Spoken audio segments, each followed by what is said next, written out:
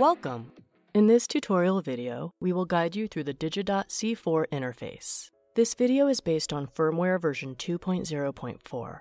If you're running another version, the interface may be different. We will show where you can find various settings and provide a general understanding of how our menus are structured. Our free Digidot C4 app works in the same way and has the exact same menu options. Once you've installed the Digidot C4 according to the supplied Quick Start Guide or the Digidot C4 manual, you are ready to work with the built-in web interface. The homepage is the first page you will see when you connect to the Digidot C4. Depending on the Digidot C4 version, live or extended, you will see different menu options. This video is based on the extended version. When you are working on a live version, you will see fewer menu items because it has no options for recording, playback, and triggering. Getting started. Let's start with the Getting Started wizard. The easiest way to set up your device is by using this wizard because it guides you through all necessary steps to get your project up and running within a few minutes. It's recommended to use this wizard when you are new to our system.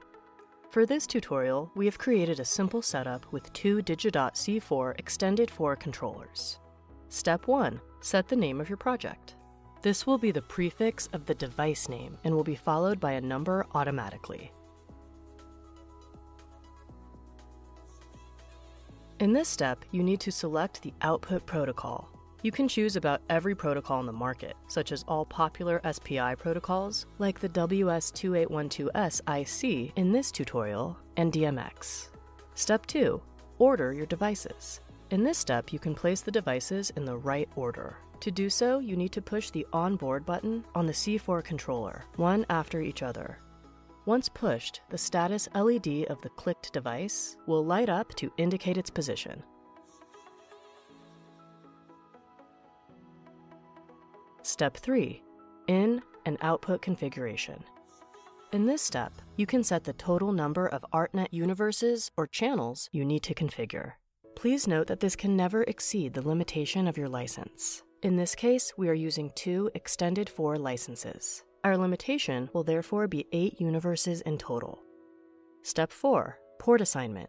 You can choose multiple options to map the channels to the output ports.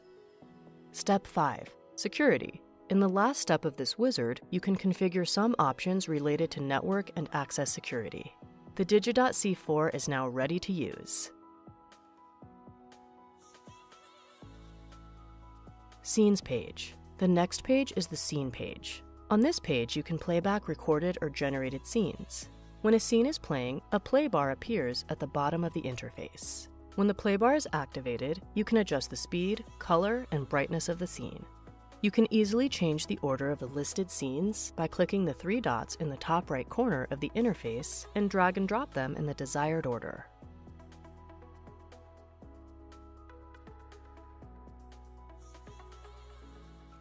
Create Scene page. The Digidot C4 Extended offers two ways to create scenes. One is through generating basic effects in the interface itself, and the other way is to record from an incoming DMX or ArtNet signal. The scene generator allows you to create a static color or scrolling color effects. Several parameters can be adjusted to create the desired effect. After pressing the Generate button and entering a scene name, the scene will be created and listed in the Scenes list. When the Digidot C4 Extended detects an incoming ArtNet or DMX signal, the Record button will be enabled. The Record button can now be used to start and stop recording.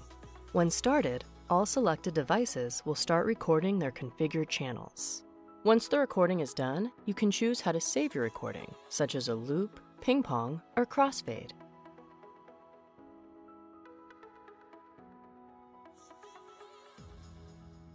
You can even crop the scene length frame by frame.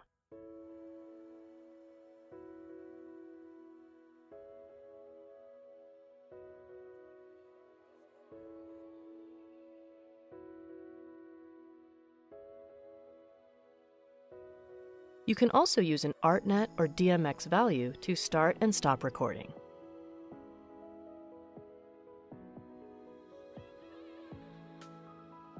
Playlist. On the Playlist page, you can create playlists that contain recorded or generated scenes. add a new playlist by clicking the plus button on the right side of the top bar. Enter a playlist name and add your preferred scenes.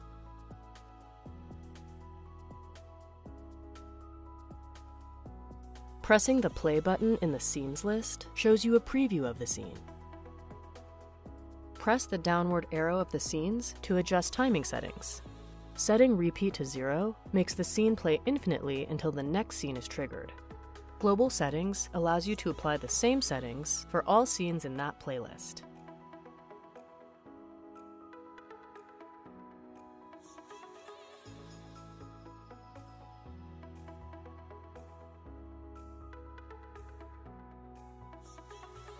Once the playlist is saved, it will appear in the playlist overview. When a playlist is playing, the play bar appears again. You can use the next and previous button to skip scenes within the active playlist. You can also change the speed, color, and brightness.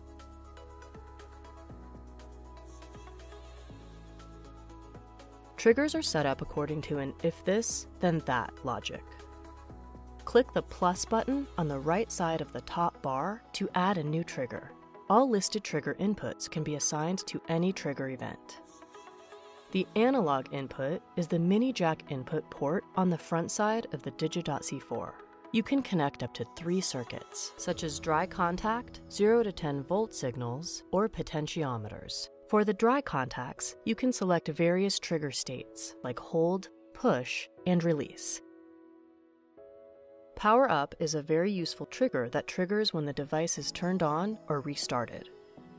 The On Board button is the blue button of the Digidot C4.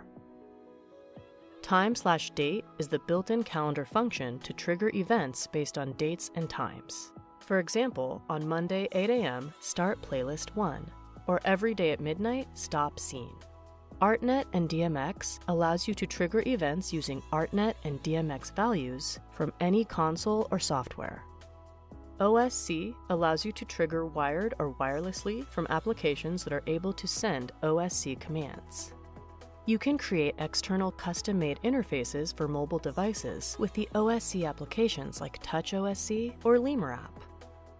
UDP and HTTP allows you to integrate with other software or show control platforms. In this demonstration, we will show you how to create an analog trigger. First select the trigger, then select a state upon which the trigger should be activated.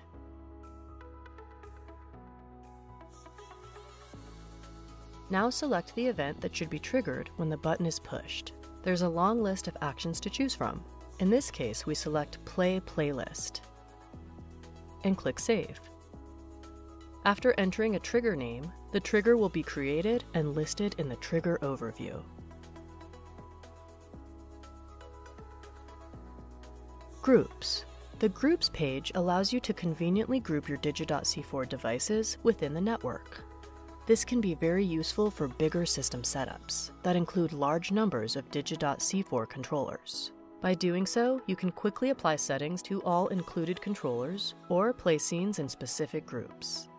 There are additional options to show or hide individual devices or created groups.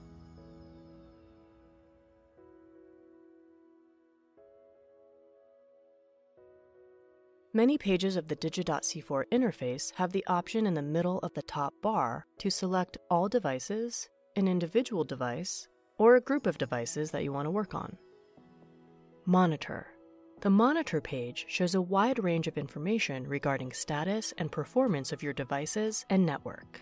The ArtNet Watcher shows the activity per channel, which is very useful for troubleshooting. You can also highlight ports and reset devices from here. Settings. The Settings page includes all general device and network settings in and out configuration. On this page, you can set up or change the inputs and outputs configuration, such as the output protocol, port settings, universes, and channels. The lamp icon will highlight the LEDs connected to the port to see if things are working as expected. Furthermore, there are some useful tools when you click on the three dots icon. Network. On the network page, you can access the Ethernet and Wi Fi settings. You can set up a fixed IP address, activate the DHCP server, and change the Wi Fi mode from client to a secured access point, for example.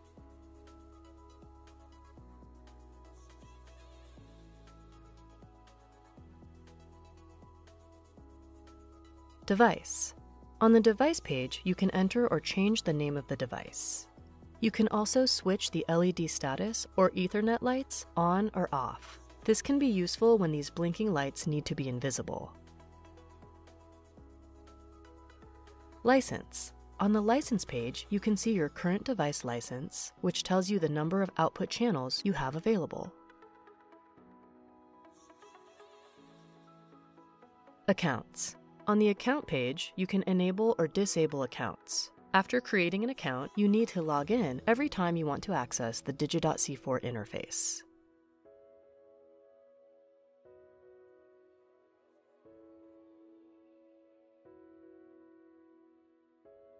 You can use the add icon to create another user with different user restriction levels.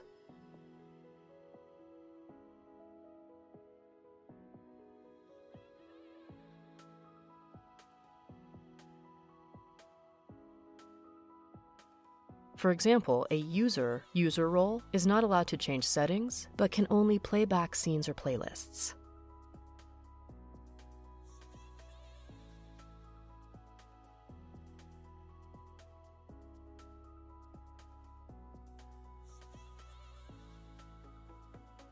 Update.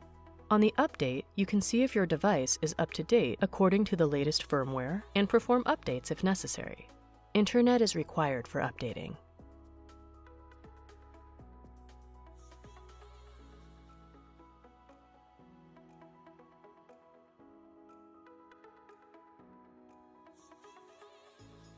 File Browser. This page is only available in the Digidot C4 Extended, the file browser allows you to view and edit files, such as scenes and triggers, on the micro SD card. You can also format the SD card here to clear all the scenes and triggers. Backup and restore. On the backup page, you can create and restore backup files. The backup can contain the input and output configuration, triggers, network, device, and account settings.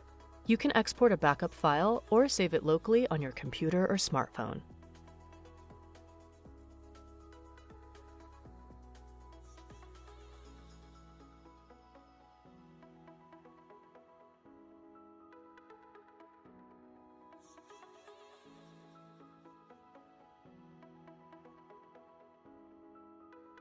Manual. This opens a complete manual of the Digidot C4 in PDF format. This is very helpful when you are on site. If you need any information about the Digidot C4 installation, configuration, or troubleshooting, you will find it here. This was a brief overview and gives you an idea of what you can find in the Digidot C4 interface and app. For more in depth information, please read the Digidot C4 user manual or contact us. Thank you for watching.